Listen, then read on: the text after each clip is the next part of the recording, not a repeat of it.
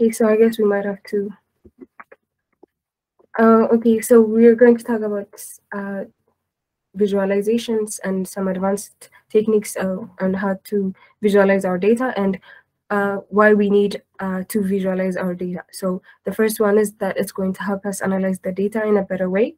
So uh, analyzing this, um, our data helps business stakeholders or whoever is involved focus on the areas that could maybe require some attention. So this visual uh, visualization techniques help us helps analytics understand the key points needed for their business, right? So it could be for sales or it could be for any type of um, marketing strategy. Then this visualization representation of data helps companies um, represent their analyze their data in a better way. So the second one is for faster decision making. So uh, we tend to be more visual beings, right? So um, uh, visuals, we take more uh, data that's represented visually than that than if it was uh, represented in any form of tabular form or any form of report. So if mm, so, if the data is communicated well and decision makers can quickly take um, action based on the data insight that we give them, or it can accelerate some decision making because uh, it can be uh, it can help us to show our data in a better way, and it can also make sense of complicated data, right? So, so it allows uh, what data visualizations allow us is to uh, for users to gain insight into a big amount of data. So it benefits them to recognize new patterns and errors in their data. And making sense of these patterns helps the users pay attention to um, any kind of uh, area that the data is uh, trying to show. It could be a progress, it could be a growth, or it, can, might even indicate a red flag or um, something that can be can have uh, an impact on the business. So this process can uh, can help business, right? So this is the biggest reasons why we need visualization. So there are different different challenges when we are trying to do uh, advanced visualizations, right? So if you're a, uh, if you're about to plot, let's say one 11 million data points from um, any example we're going to see, um, your regular Python plots would be extremely slow, right? So um, maybe your Jupyter kernel would most likely crash, right? So most of us have experienced that. And we, if we don't have a good uh, PC that has like a good GPU or something, that could be a big problem, right? So the speed could be one issue. And the second one is the quality, right? So even if uh, our uh, we have a good um, computer that can visualize this data, it could crash or if even if you are willing to wait, most plotting libraries will simply keep drawing each other new data points. Um, it could be as a circle or it could be as any other shape on top of each other. So it would be very messy and it, it could be over plotting, right? So it's going to be hard to understand this data when you are trying to plot. So what, uh, what, it, what, why we need advanced visualizations are in order to solve this problem, right? So there are high-level tools that make it easier to apply um, to apply Python library to apply Python libraries to our data, right? So we use different um, libraries to help us in plotting. Maybe if you guys have any experience, um, some advanced libraries, have you guys uh, taken a look at the what you might need for this challenge?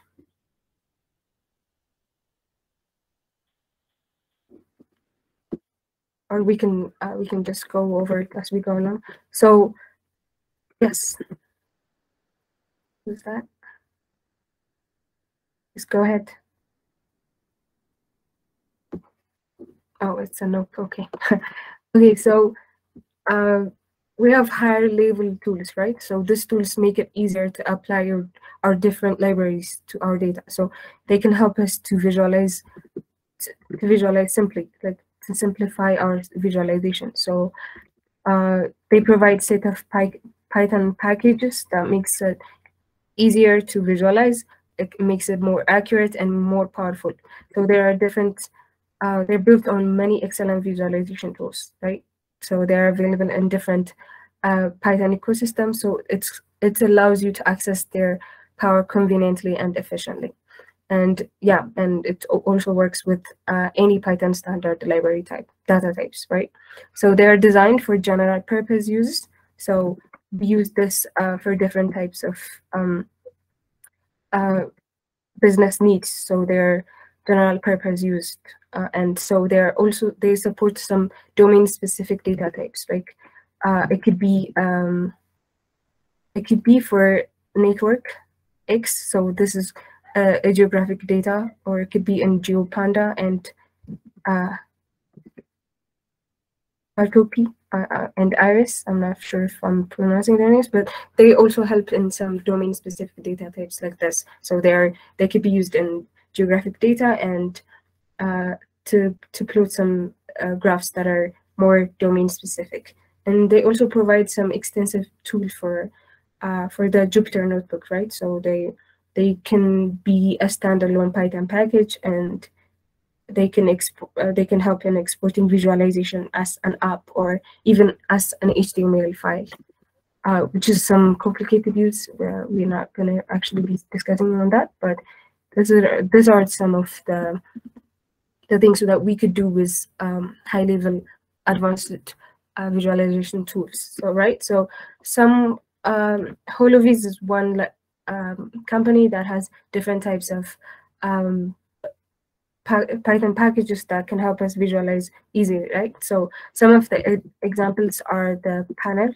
So it's we use panel for making our apps and dashboards for um, plots and for any supported library, Python library, right? So it's kind of it's an assembly object for many different libraries. So it's going to layer our app and um, it could be used in uh, in our notebooks or it could be used as a standard standalone um, library. Um, okay, the second one is HP HVP plots. So it's a quickly gener generating interactive plots for your data. So this is going to quickly uh, return interactive HoloViews, uh, could be uh, panels, or that could be from your, our pandas library, or it could be geo, GeoViews. And or any other data structure. Uh, so these are some of examples, and we're going to focus on the the data shader today. So we might you might get you guys might uh, be using it for this this week's project. It could help you um, in understanding or visualizing your data in a more uh, complex or in a more advanced way. So what data shader does is it's going to be for rendering a large data sets, right? So uh, it could be it could be used to rasterizing huge data sets quickly and in a fixed size. So uh, um, we also have Lumen. So it's a framework for visualizing analytics that's going to allow users to build data-driven dashboards. So this is this the this one's different because it can be um, we can use this for YAML files, right? So we can also use this for YAML files. So it's also popular and we can also use this, but, and so these are the, the basic um, tools that we use and for advanced uh, visualization, right? So, um, so yeah, these are some examples. Let's take a more look at what data shader is and how we might use it.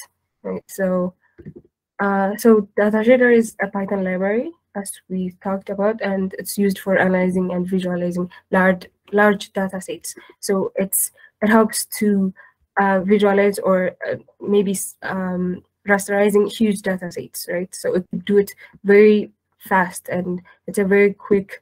It's going to be um, a fast. It's going to help us run our plots very fast.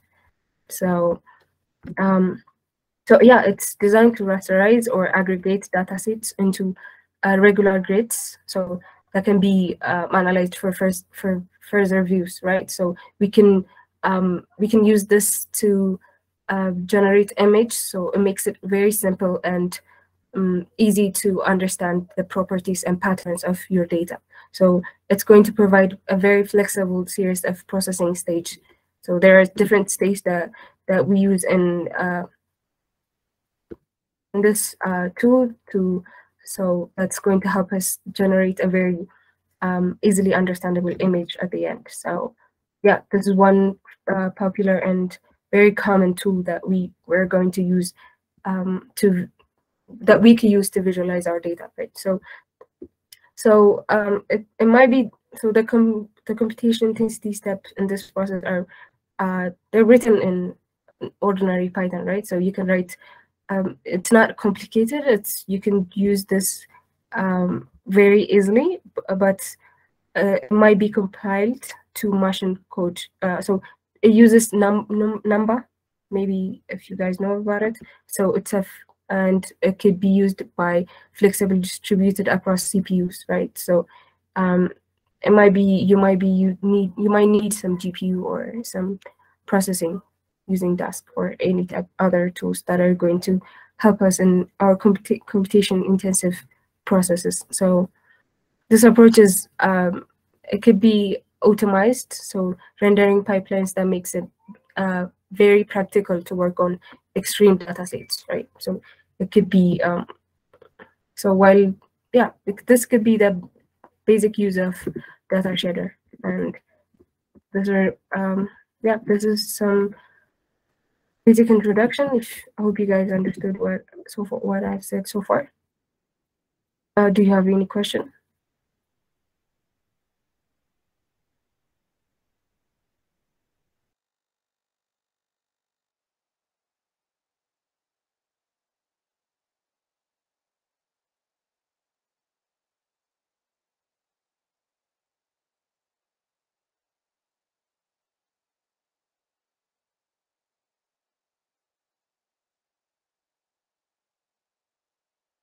Okay, guys. Um, so was that clear?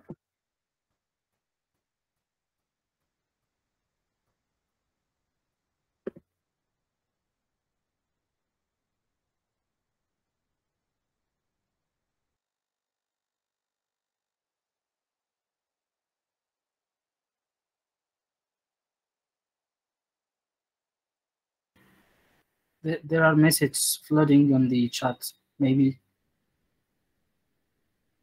yeah, I, I was hoping someone would have a question by now. Okay, so we could just go over some um, some code that we could use uh, data shader that shows how to use data shader. Uh, let me just switch to VS Code and we can we can take a look at that together.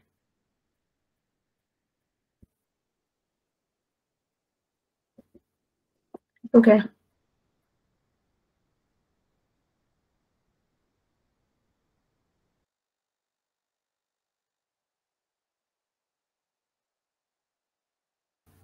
so while I do that, um, have you guys started working on the um, the project? How's it going?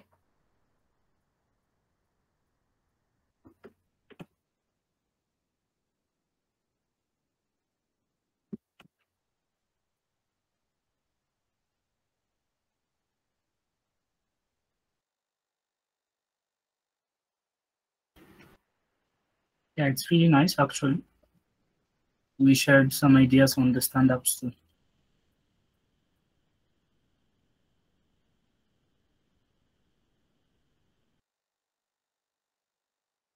Okay, uh, so it's going good, yeah?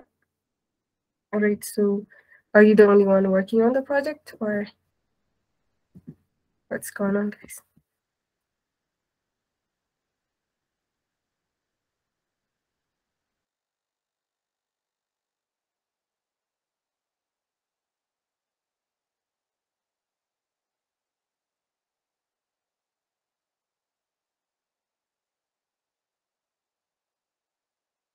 Can I ask you another question while we are setting up? I see that there is another tutorial which says remote independent. Will that be explained to us? Or is it written, is the explanation written on some other platforms which I didn't yet get to see? Which one? I'm sorry? Which there is tutorial? there is this schedule that say this career tutorial and it says uh, remote independent, and maybe some explanation on that. Where when is it going to be given the explanation, or is it given and I Uh, am not aware of? It? Um, I'm not sure. Let me just take a look at the. Yeah, it's on the schedule and it is uh, on the notional schedule and it's scheduled on uh, for after an hour and 10 minutes. So if it's something we need to do,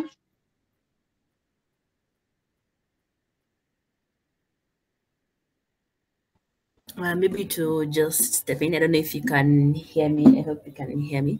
So I think it's a normal tutorial, just that when we shifted the schedules, some some some some things collided, and maybe whatever was there initially was a remote independent task. So I think just to be safe, just thanks. a call. Okay, okay, okay. Yeah. Thank you. Yeah.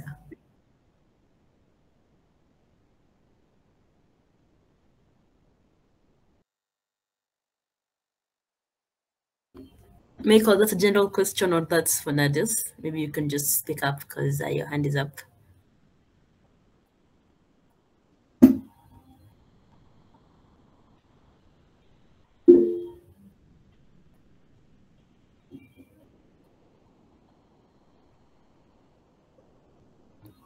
Okay, the hand, the hand went down without a comment.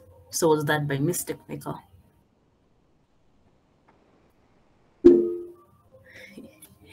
Yes, Michael. Yeah, I can. Hello, hello. Can you hear me?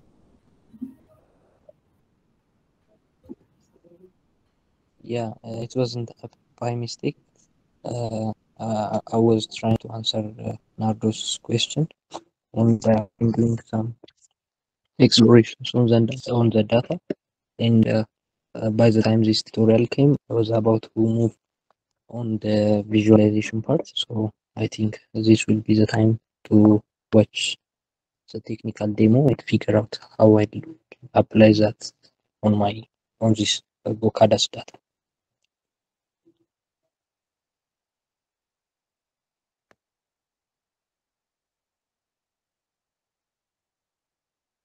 Oh, okay. All right. So uh, this is going to be, uh, this is the same. You guys can find this resource at the official um, documentation site of Data Shader. So um, you guys can also take a look. Um, we were supposed to have a, a guest that's going to walk us through this, but let's let's just um, go through this together. So uh, so when before starting off, let's just define some some things, right? So what are attractors uh, when we are, when you guys can hear me, right?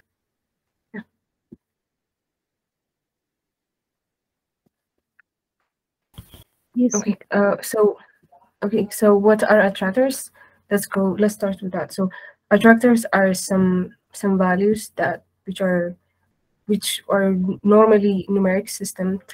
So they're numeric uh, set of values. So um that so they tend to evolve right so there are a set of values that that tend to evolve so they they can they're called strange attractors so an attractor is called a strange attract, attractor if the result if the resulting pattern has um, a fractal structure so right so these are the different structures that you can you can plot using the data shader right so this could be our this could be our attractors. So these are the set of values that that are evolving. So when they're changing, they tend to create this kind of visualizations, right? So so these are this could be called our attractors. So um yeah, so they're called strange attract attractors if they if this pattern is has some fractional structure, right? So uh this is a very strange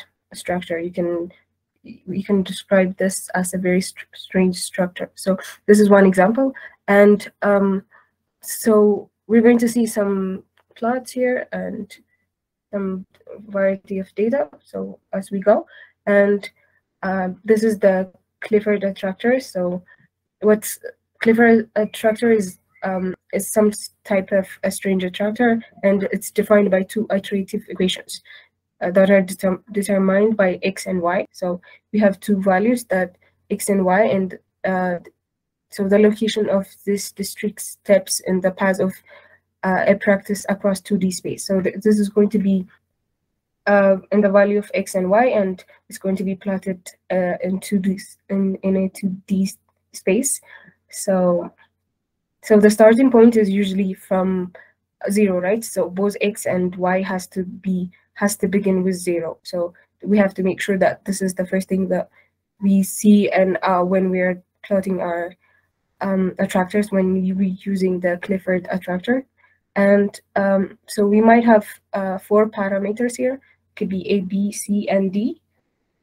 These are the four parameters that we have. And uh, so when we're, uh, okay, let's just go. On. So Clifford attractors are type of um, iterative equation that trace the path of a particle, a, a particle through a 2D space. So we have uh, sine and cosine um, functions that are going to uh, define our attractors, and they're going to help us um, visual, visualize our um, our data points. So right, so so we use NumPy and Pandas to calculate this data frame, and we use uh, this. So if you guys take a look, there these are the different points, right? It may not be visible, but here the dots are different data points. So it could be in millions, right? So it could um, it could so our data can consist of millions of locations and using Numba we uh, we make sorry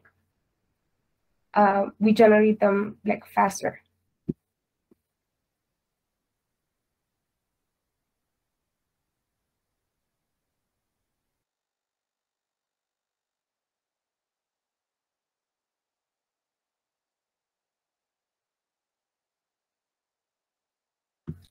um, so yeah, uh, we have this Python uh, process that's going to run in a static page. So this, sorry, uh, this is from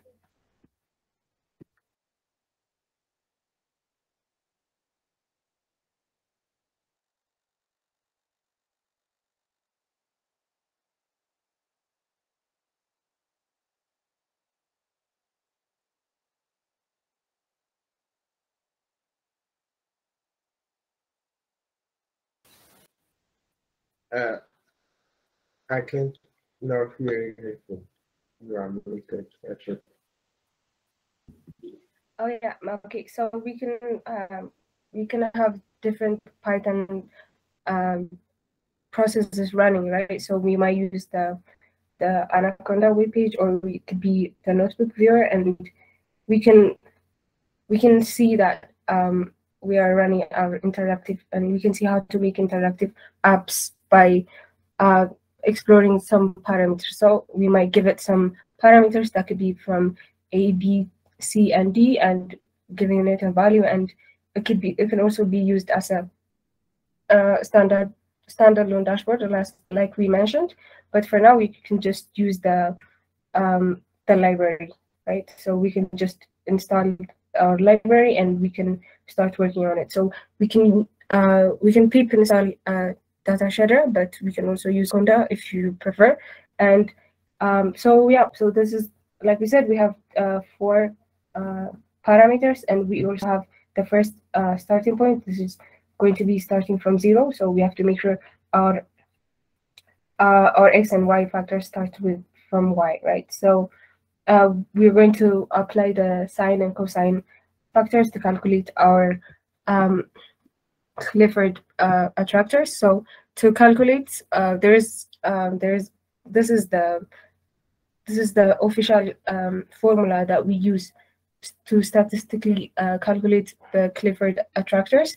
So it's going to help. So it's going to at the end it's going to create endpoints, right? So this are going to this are going to be uh, the points that's going to be um, that these are the results that are going to be processed. So uh, we would have, this is an iterative process, so it's going to have multiple endpoints, and uh, this, in the end, is going to uh, turn up to create a, a, a, diagram that could look like this, because this shows um, lines that are from that are ranging that are originating from different data points, right? So here there are different data points, multiple data points. So we can visualize uh, resulting data frame using data, data shader uh, or using color maps, right? So here it's going to help us. We're going to use the color map library and it's going to, we're going to import it and we're going to apply it in our plot, right? So here in, we have a function, the Clifford plot function. So so this is the basic function that we can use to plot this um, Clifford plots, right? So we have our uh, our four parameters, the A, B, C, D, and we have the color map. So here we are using the color map library. So we uh, import it and use it um, in, a, in our parameter. And so this this function is just, this is the function that we use to plot, right? So it's going to create uh, something like this, something that will look like this. So this, this let's see, so this has 20 million data points, right? So every point here, uh, every dot that you can see and every line that is uh, drawn here is originated from um, the data points, right? So it's showing the x and the coordinates, right? So it's moving, it could be, let's say maybe this one is moving from this to this, so it has two or four data points here. So it has 20 million data points uh, from an attractor, clearly makes an interesting shape, right? So some might consider this interesting, but um, I think this is kind of terrifying. But yeah, this is the, we use like, this was done like really fast. Uh, I'm having some issues, but this is done like three seconds, right? We I thought that this plot was done in three seconds. Yes. Yes, Margaret. Um, how do you interpret how do you interpret the the figure, the plot? Um, so yeah, there are different um, um, what are they? So there are different arguments that we can uh, get from this, right? So we're going to take a look as we go. Yep, there are like different a lot of points that this might seem very complicated to uh, interpret, right? I understand. So um, yeah, we we can take a look as we go. We have uh, some uh, conclusions that we can draw from this plot.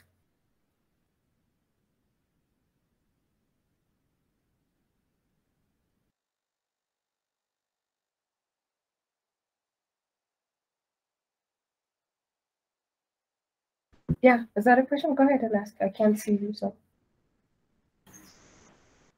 Okay, do we have a time? Do we have a time if we didn't use uh, data shader for this? Like it, it takes three seconds for data shader. Do we have a, a time we can compare it to if we didn't use data shader? Um, no, I didn't. I only used for now. I only used this, but maybe you can try with your data. So you you guys have the data, right? You can try imploding it with the with that. And um, as you as we said, some of the drawbacks are it's going to be overplotted, right? So it's not going to be as clear as when you are using uh, the traditional or the those uh, libraries that you can use. Maybe what are you using to plot with? Maybe you can we can compare with that. Yeah, sometimes Plotly or some even the data frames basic uh, plot uh, functions. Functions, yeah, so some things like that. Yeah, yeah. Uh, I haven't tried it at the same with the same data, but if you Yeah, can see, this data is like it has like how, how many millions did I say? It's a lot, right? So it's Oh, 20 million data points. So it's 20, 20 million, right? So I mean, it's if your PC can survive plotting this, then yeah, we can you can try. And actually, I'm curious. I would like to know myself. No, no, I, that, that uh, yeah, okay, but that was not my uh, point. It really is slow, my my PC, and that was why I asked this question. I, I was just curious, and I was just I wanted to know how fast this thing runs. That's why. Oh, this and took my three seconds, three point three seconds to plot. Okay, yeah, thanks. I'll Yeah. check. Yeah, it was really fast. I mean, um, it even plots faster than most of, I don't know, Mathlib plots. So it's a good library to use to visualize big, such big data like this. Right, okay.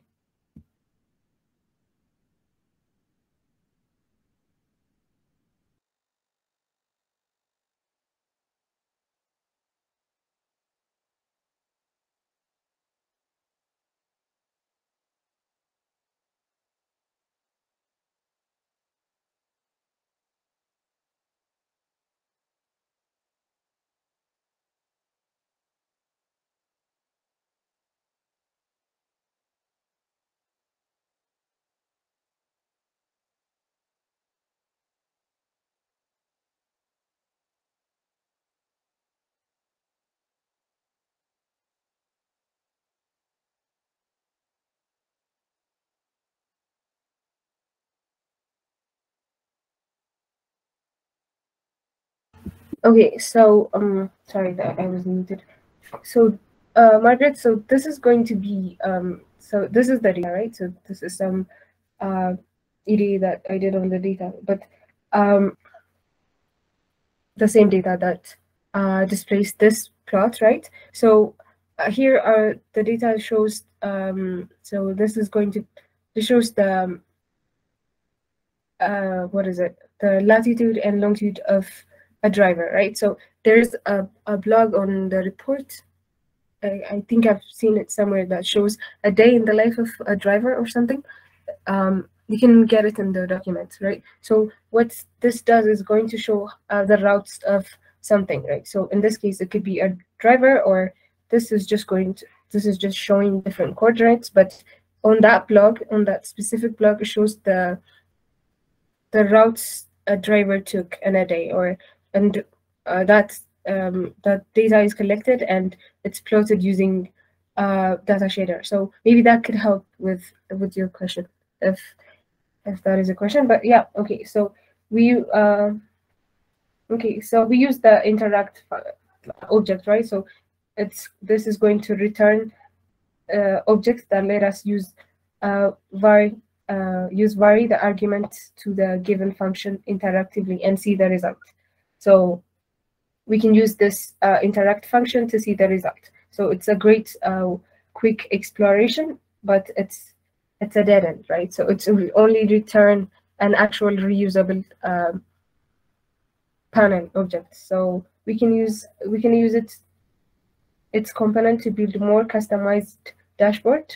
So maybe we can uh, this could be return the return function object returns what it returns we can use it in our dashboard um, to visualize our data. So uh, let's define an object here. Let's, okay.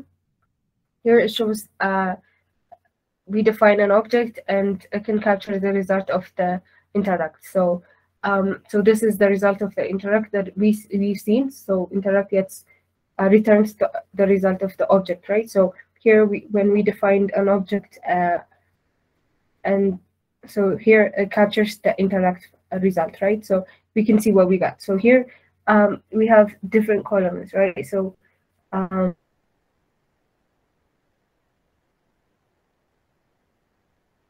these are the results that we can get from our uh, from, from our interacts, right? So as you can see, um, the object is um, here in column. So this is so we use the interactive object. Yeah, so we can now mix and match this component into a dashboard figure as we like. So for instance, we if we only if we only yeah uh, okay right so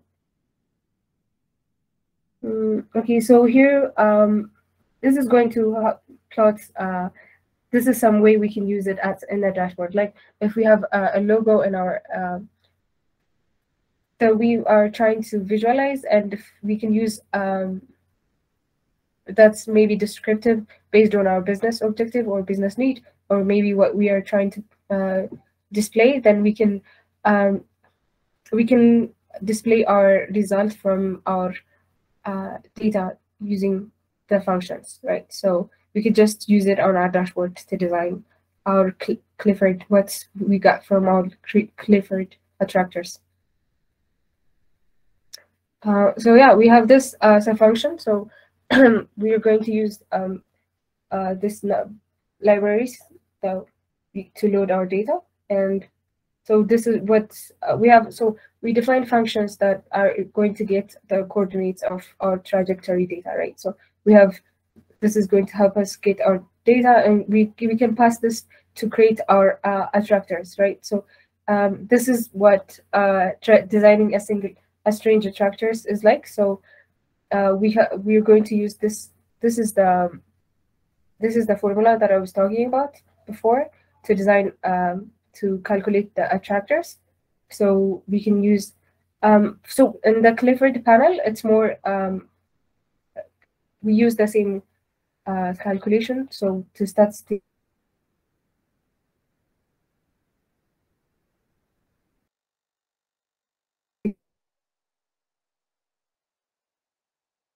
parameters. And uh, this is for so that also that shows you how to get insights from this data, and I will uh, provide those um, on the link.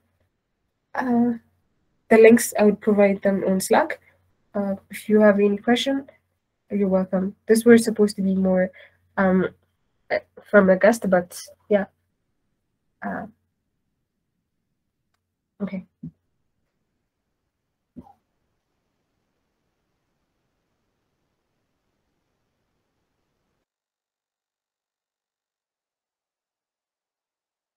Yes, is that a question?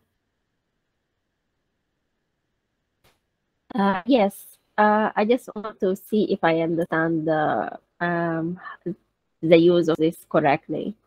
So in uh, in the example you're here, you're using this Clifford equations, right? So you're getting the data from these uh, equations. But in our case, we will be using the data that we have for the, or do we have actually data for the trajectory of of um, we don't actually have, I think. Uh, uh, so we should we should um, be using the data. We we have the point data for the points um, for. Sorry. Yeah. Uh, so you have the data, but do you have um, maybe the? It's going to show you the coordinates, right? So Clifford attractor is uh, it's going yes. to calculate maybe it has two equations, right? So we have seen the two equations uh, that are that determines the x and y location of the steps, the district steps someone took, like the path. It doesn't show. So the data you have shows the the location or the data the points where uh, the x and y points or the coordinates, right? So, but here we use it to calculate our steps or our paths. So, yeah, that's going to help us display our paths. That's what the basic uh, functionality is here. Yeah. Yeah, so I, if uh, yeah. I don't understand okay. this. Uh, so we have, do in our case, do we have to use these equations? Or is it an example here, just it's used uh, um, to display this, this is an example uh, for this nice specific pattern. data. I don't know. Okay. Yes. I mean, so in yeah, our case, to we visualize need, this, we uh, use this calculation. Uh,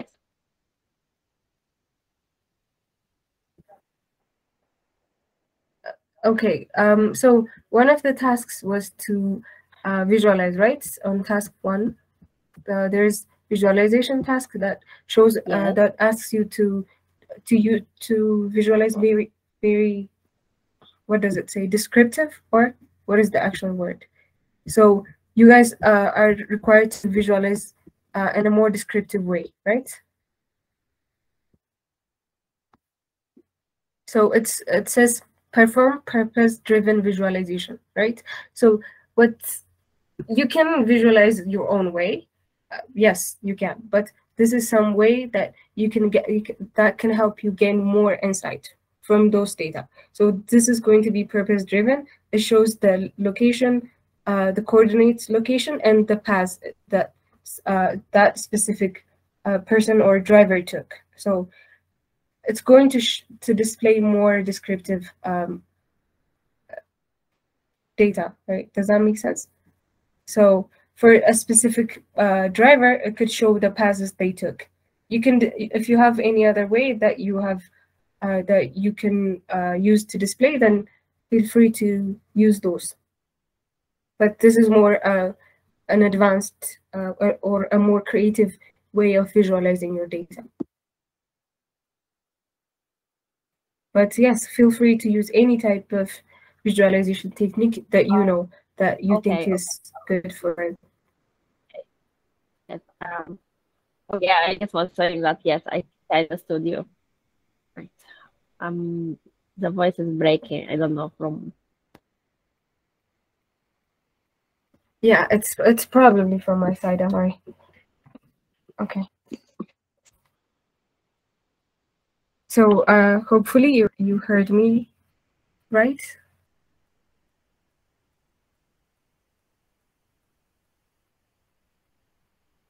I I think I heard the the most important part at least. I think I understood. Yeah. Thank you.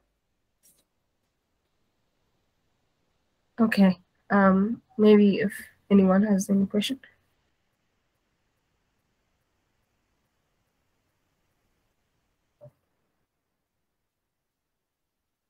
Okay.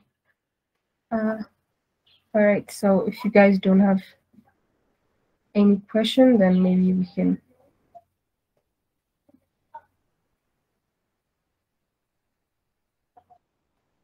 Maybe we can end the session here.